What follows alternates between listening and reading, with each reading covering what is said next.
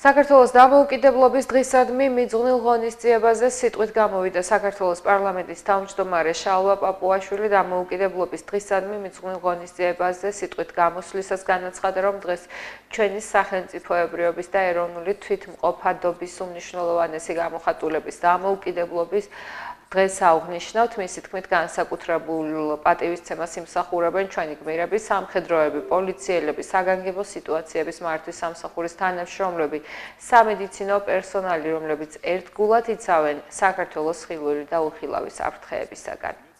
საქართველოს ყველა მოქალაქეს, სამხედრო მოსამსახურეს, უცხოეთში მცხოვრებ ყველა ჩვენს თანამემამულეს ულოცავ საქართველოს დამოუკიდებლობის დღეს. დღეს ჩვენი სახელმწიფოებრიობის და ეროვნული თვითყოფადობის უმნიშვნელოვანესი გამოხატულების დამოუკიდებლობის დღეს აღნიშნავთ. ეს არის დღე, რომელიც თავდადებისა და ბრძოლის შესახებ მეხსიერებას ინახავს. ამიტომ გამორჩეულ პატივს მივაგებთ ჩვენს წინაპრებს, რომლებმაც თავდაუხრელად იბრძოლეს სიცოცხლე შესწირეს საქართველოს დამოუკიდებლობასა და თავისუფლებას და შეგვინარჩუნეს სახელმწიფო.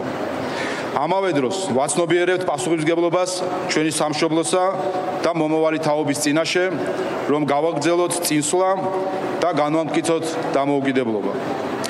განსაკუთრებულ პატივისცემას იმსახურებენ ჩვენი გმირები, სამხედროები, პოლიციელები, საგანგებო სიტუაციების მართვის სამსახურის თანამშრომლები, სამედიცინო პერსონალი, რომლებიც ერთგულად იცავენ საქართველოს ხილული და უხილავი საფრთხეებისგან. ჩვენი პედაგოგები, რომლებმაც აღზარდეს ჩვენ და ახლა ჩვენ შვილებს უზიარებენ თავიანთ სოდნას და ფასეულობებს. სპორტის, მეცნიერების, კულტურის წარმომადგენლები, რომლებიც მთელ მსოფლიოში წარმოაჩენენ ჩვენს ქვეყანას და ჩვენი წინაპრების მსგავსად, მნიშვნელოვანი წვლილი შეაქვთ კაცობრიობის წინაშე. ჩვენი მშობლები, რომლებიც მრავალი განსაცდელის მიუხედავად მტკიცედ იდგნენ თითეული ჩვენგანისა და ქვეყნის უკეთესი მომავლის სადარაჯოზე. მშობლები იმ რეკრუტების, რომლებიც დღეს სამშობლოს წინაშე ფიცის დადების ცერემონიალის მოწმენი იყვნენ, იმისთვის რომ მათ ასეთი პატრიოტი ადამიანები აღზარდეს.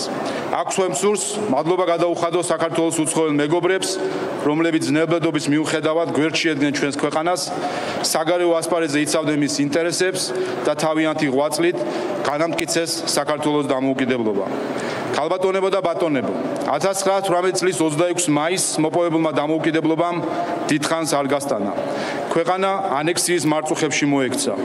თუმცა დამოუკიდებლობის 3 წელიც კი საკმარისი იყო რომ საქართველოს იმ დროისთვის მოწინავე კონსტიტუცია მიეღო რომელიც ევროპულ დემოკრატიულ ღირებულებებს ეფუძნებოდა. კძალავდა სიკვდილით დასჯას ხაზს უსვამდა ქალებისა და კაცების თანასწორობას და სამართლების საფუძველს უქმნიდა ახალ პოლიტიკურ სისტემას წითელი არმიის შემოჭრამ და დამოუკიდებლობის დაკარგვამ ვერ ჩაახშო ჩვენი ერის ეროვნული სულისკვეთება, თავისუფლებისა და დამოუკიდებლობის მისწრაფებები, რომლებიც თაობიდან თაობას გადაეცემოდა. დაიწყო ბრძოლის ახალი ტალღა, რომელიც 26 მაისის თავისუფლების იდეებს ეფუძნებოდა. ამ ბრძოლაში ხალხს განსაკუთრებით ძალას, რწმენა და პროგრესული ღირებულებები აძლევდა, რომლებიც ოდითგანვე საერთო მიზნის ქვეშ აერთიანებდა საქართველოს მოსახლეობას და მას ევროპულ სამყაროსთან აკავშირებდა. ჩვენი თავისუფლებისათვის ბრძოლის გამოცდილების გათვალისწინებით დღეს ყველაზე კარგად სწორედ ჩვენ გვესმის უკრაინელი ხალხის ტკივილი და სრულ სოლიდარობას უცხადებთ მათ. ამასთანავე ყველაზე კარგად გვესმის ჩვენს ქვეყანაში მშვიდობისა და უსაფრთხოების შენარჩუნების მნიშვნელობა. ქალბატონებო და ბატონებო, ნიშნულოვანი ისტორიული პროცესების ფონზე დღევანდელი 26 მაისის დღესასწაული განსაკუთრებული იმედებით აღინიშნება.